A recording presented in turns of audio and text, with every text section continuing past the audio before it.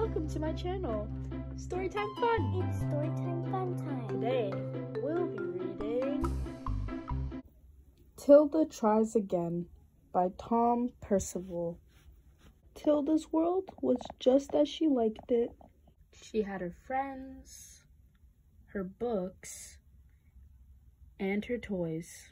Everything was just right.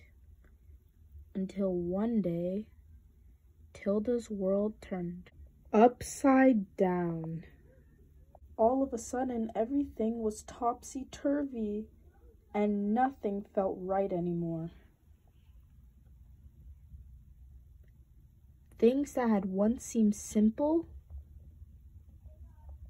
now felt incredibly difficult.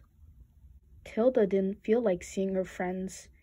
In fact, she didn't feel like doing anything.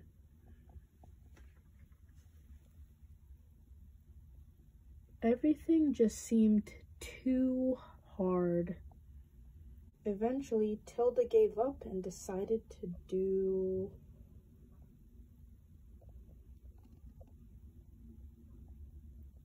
Nothing. Then one day, Tilda saw a ladybug stuck on its back. Its tiny legs waggled in the air.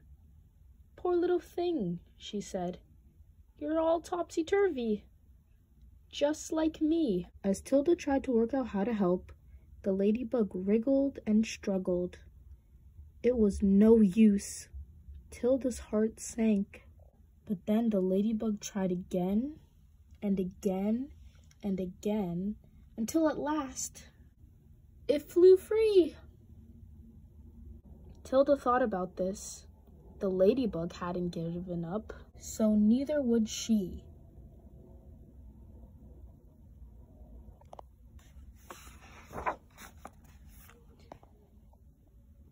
She found her toy blocks and tried building something. It worked. Tilda started to feel a bit better. After that, she tried reading her favorite funny book and laughed until her tummy ached. Then she went out to play in the yard. Everything still felt very strange, but Tilda tried her best.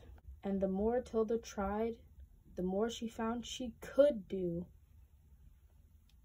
Although there was one thing she still felt too hard. Tilda paused at the edge of the park and watched her friends. She almost left. But then Tilda remembered the ladybug. Could she be brave? Could she keep trying?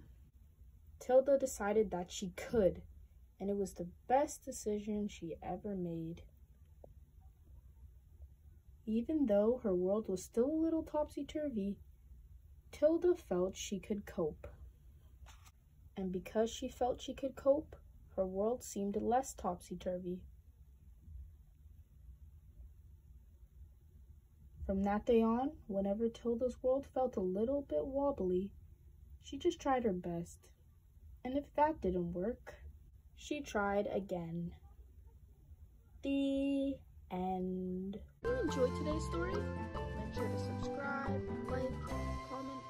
share if did.